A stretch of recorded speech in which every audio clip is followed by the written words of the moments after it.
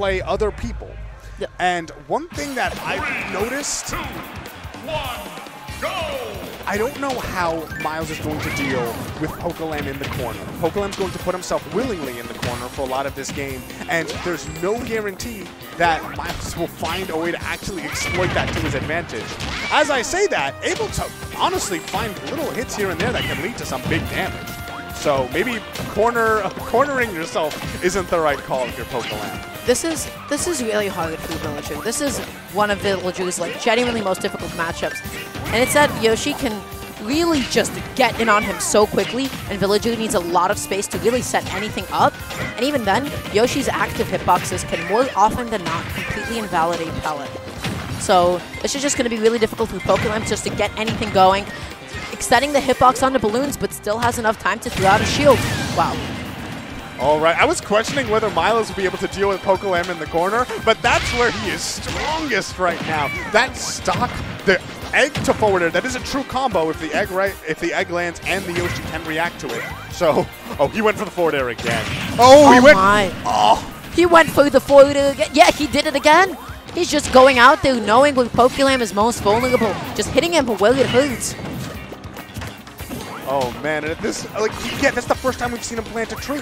He hasn't had the time to do any of When that. you have a giant green dinosaur jumping in on you constantly, it's it's a little bit difficult to try to tend to your garden at some points. But now Pokelam trying to catch Myles on some of these dash-ins, able just to stuff out some of these pellets as well. He's playing at a really good range for himself, but he just needs to capitalize and find a way to get the stop. Ooh, my, I think he crouched right there and took reduced knockback from the uh, from the Lloyd rocket. Neat. I don't think that's necessarily something he was willingly trying to do, but it did Wow. keep him close enough to the ledge to continue up this pressure. I'm And s- Oh, oh not again, not again. Tries to go out there to maybe pop the balloons. Just keeps on putting on this pressure onto Pokelam. Maybe tries to catch that air dodge in, so he held that F smash until the last possible second. This is such a nasty position to be in as Pokelam. oh, he almost got the punish with the up air, but nonetheless, this edge guard is still going. This has just been one long, drawn-out edge guard. Pokelam finally finding a way to land, but then ends up be-reversing right into Myles, getting uh, getting him away using Pellet and with Slingshot, and that's it. Yeah, and Villager is one of those characters where, like, for instance, in the last matchup we saw with uh, Myles and Suarez, sometimes an air dodge would happen, but Myles wouldn't be able to position himself well enough to punish the air dodge. But Villager's airspeed is so slow that if he does a neutral air dodge, you can absolutely, b- you better believe he's going to be able to find the punish. Uh, and it's like, keep in mind all those defensive options that were being puni- punished in that game. Uh, you had the air dodges, but also the shielding in the corner. The amount of times that Pokelam would be shielding or just be in the corner, and Myles would just charge at him, tongue forward, and just grab him, throw him off stage. Yoshi's grab is usually pretty. Sorry, I, choice of words, I guess. Well, anyway, Interesting. It just threw me off. I, I love it. I'm a fan. The thought I'm a, remains. Listen, I'm a fan. Um, anyhow, game two between the two. I mean, you're right. The way that Myles has just been jumping in on Pokelam into the corner, he's always been overcommitting to like Lloyd Rocket from the corner especially. Even though it's such a good option, it puts him into so much lag. And Myles is knows exactly how not to respect it and punish it. Okay, this. Oh, I thought he tried to go for a footstool. Oh. I, I will say that I feel like Pokelam would, if the opportunity arises, try and footstool a Yoshi. He seems like that kind of guy. I feel like that says a lot about a person. That is a very good judge of character, I think. Oh, Pokelam, not even. I thought that was going to be like the double jump back. Uh, Myles not completely pushing in with that forward. He's not going to be able to find the spike. He's committing so much, but he's still getting back onto stage faster than Pokelam. And that's what matters. But Double double three turnip. The fact he got the three turnips the first time and the three turnips the second, second meant that he had enough damage and kill power on the final hit to actually finish off the that wood chip threw me off. I, I didn't I didn't see that wood chip at all. And you know what? It gave Pokelam the coverage that he needed to be able to get back on. Now Pokelam stuck in a corner, goes back on, but not for long because Myles still going to be able to close it out with an up and Yoshi fashion. You know, it feels like we've barely seen any true neutral in this game. Like, we're seeing a little bit of it right now, and I think the fact that we went to uh, Town and City means that Pokelam wants to be playing more neutral. But the reason why we haven't been... Look at the way the Pokelam is just moving around the tree. Like, what are you going to do? Jump in? Nope. I'm going to the other side of my tree, big boy. And there's nothing you can do about it. He's just, his his spacing and his movement has been so careful and meticulous this game. He just took how much? Oh man, Myles was doing pretty all right just a second ago, and then Pokelam started to figure out what he needed to be doing, and one of those things, just not willingly putting himself in the corner. He's able to duke it out on stage. He's a solid player with good fundamentals and neutral game, and that seems to be a much better plan for him. I feel like uh, Myles has started committing to a button immediately after he jumps. Every time he short hops, that's a button, every single time he full hops, that's a button, and Pokelam has been doing a great job of adjusting to that. He used the egg to block the hit of uh, the back air. It's also worth noting that whenever we see, oh, the armor. No double jump. And Pokelam's going to find that back throw, and that is going to be the stop. Yeah, great tracking for Pokelam. Maybe a bit of an antsy and, you know, erratic option for the Myles, but listen, that's an awful place to be in. You got to just try your best. that shield was gone, right? I cannot believe. They're both laughing. I'm pretty sure at that point, like, the, in a way, rolling was a risk. Like, Yeah, because you could, you could get caught in the startup if you roll, right? So, like, it, it, it might be an issue. I mean, so would he actually be able to hold it long enough? If the shield is angled, would it ever break from a fully charged forward smash? I don't know. I, I wouldn't be able to tell you. Uh, Pokelam, oh, he had the good idea. He wanted to be able to get the sapling into a tree, but was just a couple of hitboxes of the watering can uh, away from being able to get it. That is actually the second time where Myles has just run straight through that, like the attempt to water the uh, the sprout, and has punished him for it. Earlier it was a neutral air, that time it was an up smash for the kill. So if you're Pokelam, you have to still respect. Okay, Why are we jumping? Respect. Why are we jumping? Why are we jumping? Uh, That's Pokelam on a platform, at the edge of a platform. Whenever you see a villager at the edge of a platform like that, they are up to no good.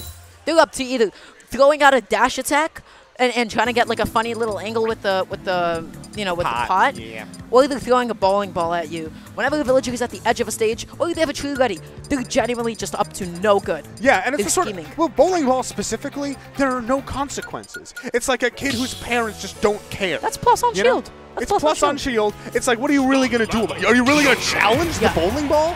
No. Have you See ever tried to challenge? Have you ever gotten a bowling ball dropped on you? You tried to Have you challenge ever, it? even, like, even in a bowling alley, have you ever been on the other end of a bowling alley and tried to stop the bowling ball? You know, you're just gonna explode. You try to block it, it'll break your arms too while, while you're at it. So it's definitely not in your best interest though to try to jump into a button like that.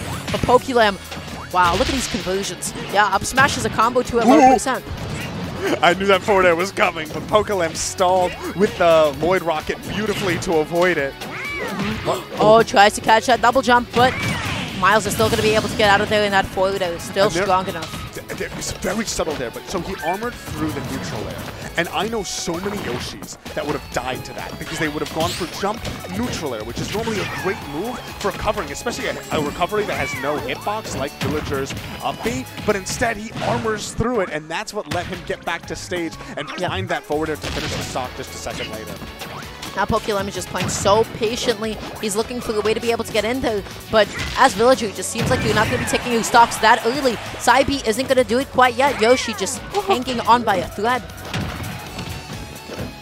Oh, the weird thing is that yes, Yoshi is hanging on by a thread, but at the same time, it can be so hard to snap that thread if he knows what your kill options are, which Villager has relatively predictable kill options. Yeah. Like that full hop right there, there was almost no way he could die for full hopping in that exact It's it's going to be closely spaced slingshot. It's going to be back throw at, in the corner, or it's going to be like triple turnips. Um, but just Or like the axe. or the axe, or, or an edge guard. But the thing is, it just it is extremely situational, and they're not usually options that you can throw out of space and neutral like that. Oh my. Look at this predicament that Pokelam's in. Uh, this give me flashbacks to game one. Pokelam trapped in the corner, nowhere to go, and Myles just turning up the pressure. The Pokelam just not able to do much, and an amazing follow. What a chase. But that DI right into the corner Pokelam is going to be living just a little bit longer, and side B. The startup of it is so strong. Pokelam lives another day. He died. I when I saw lightning, I got confused. Yes. All right. Speaking of lightning, That's That- tough. Because normally as a villager, you when you're off stage, you have a little time. You have a little breathing room to be able to throw out side B. You can stall. You can stop your opponent from going out there for an edge guard. But Yoshi, being so fast in the air, he can go as deep as he wants to. He can go to any position off stage and be able to pressure and throw out hitboxes. So as Pokelam, your goal is not to be able to set up Lloyd. It's how can I get Yoshi off me? But did you hear it? Did Yeah. you hear the counter pick? is he going like Steve? He's Isabelle. Oh, Isabelle. Interesting choice. Uh, so I, I, I forget who it was against, but there was somebody where Pokelam was playing against them. And game one they went Villager, and they got bopped. Absolutely bopped. I think it was against Suarez. Well, I've definitely seen them uh, last time that they were at Encore. Uh, we saw Pokelam and Suarez go at it, and Isabelle just seems to do a really, really good job. I think it's also because, like, Pokelam definitely has a bit of a habit of using side B out of pressure and out of corners, and that's how a lot of people find openings on him. Yeah, so one of the things that I remember about the Isabelle, and one of the reasons why he counterpicked the Isabelle, is for the up tilt. The up tilt is just such a good anti-air. Let's go. option. Yup, Keeps going. yup, hey, hey, hey. I love this game. Isabelle's so cute. What? I, uh... I, I missed the memo where that's a thing. You, you- oh, oh, that's that's the thing. Yeah, there isn't anything that you can do in that position. You just dead. Wow, Myles, where you going? Okay. off stage apparently. Tried tried their best. Uh, it's not going to be able to get it quite yet. Pokelam just neutralizing out of pressure there. Tries to side B to get back onto the stage. Myles not having the tracking that he needs. Yeah, it's you know it's funny. Normally, he like he was going out there and killing villagers recovery, which is a lot trickier to actually nail down than Isabelle's. But it's just these slight differences that are keeping Pokelam alive off stage at least. On stage, not so much. That back you're going to be taking his life. The real relevant differences with Pokelam going into this, having safe tilts to actually pressure Yoshi's shield, which is a huge lacking quality of villagers, right? You don't have any safe buttons to effectively pressure anybody's shield. So just being able to press up tilt on somebody's shield like that's going to be so huge. And then not having access to Lloyd is going to help Pokelam a bit because he's not going to get caught in the corner pressing side. Well, maybe that time he will be. Oh, look at this pressure that Myles is putting on his shield. It's not enough catching that roll, I believe. Pokelam taking the stock. And Myles, it felt like he was so confident against the villager. And now this is, it, you know, they're both Animal Crossing characters. They shouldn't be this different. But the, like, the way that Oh, no. he's playing him, Pokelam he fell out of the. Oh my. he's dead. I think he might be No, dead. he's not that in the slightest. Yeah, no. Wait, what? He didn't yes, have he a jump. dead. He lost his double jump. ju- he, uh, can the, the, the, the side B, does that take him out of his double jump? Is it considered a grab? Oh, oh, oh my. Oh, buddy. Actually, is that something that's consistent? Whoa, whoa, wait, wait. What's what are you asking? whether it and it just beats out it beats out uh, the double jump. Does it count as a grab to beat out the double jump? That's interesting because it's like a command hit, right? That's so, what I'm thinking. So It's- it's like a it doesn't weird command with hit. But I guess, I guess it still has a grab box. I, I guess so. It's I don't know. Maybe we'll see it again. That might be the real crux of why he counterpicked Isabelle for many reasons. But like, that's also a Is that the one. one relevant interaction where Isabelle side B actually counts as a grab? Is, is that the one time where that, that actually comes into effect? I don't know. We might see it Oh my. later on here. Oh, Look at those conversions from Pokelam, just able to put in a good amount of damage onto the board. But speaking of conversions, Myles, alre- already just putting pressure on. yeah. Also, little subtle thing about both of the villagers' recovery. it's alive. Um, is normally one of the things that Myles loves to do when the opponent grabs the ledge is to throw out an egg. But because of those balloons, he cannot do that. They will just eat the hit. So he has to be a little more creative without spot dodge read. Wow. I mean, maybe it just wasn't a spot dodge read. Maybe it was more so like a jump read in that position that Myles went for. But you know what? Regardless, Pokelam finds that setup. Down B into up. Isabelle Classic gets that kill and evens this game back up. So smart right there, going for that, recognizing that Pokelam has gotten a little bit too comfortable shielding, is going to try and prevent him from doing anything like Tries that. Tries to get the retreating hit of the side B, but Myles just so fast. Yoshi just able to get there in time. Look at Isabelle low profiling that back heel out of shield, and just having that shield pressure difference is is it's really doing so much for the Pokelam. He just down in his face. He got away with it. Okay. Myles is scared. I'd be pretty scared too. But rolling right into that uh, down B that time around. Oh boy. Oh, buddy. Oh my!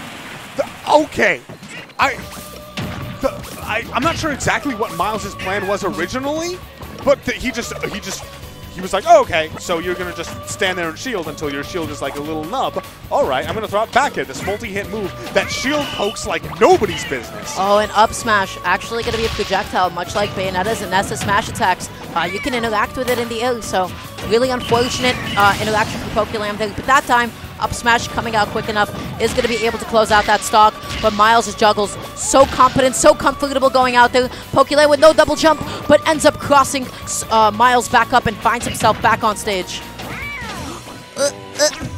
That's gonna be more big damage. Really He's just chasing him. He's just not stopping. Yeah, and that's those those uh those balloons coming in really important. 123% though. Pokelam might need a crazy edge guard of some kind.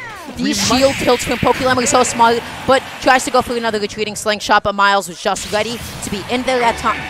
He was there at the right time. Yeah, so Myles, so Yoshi both has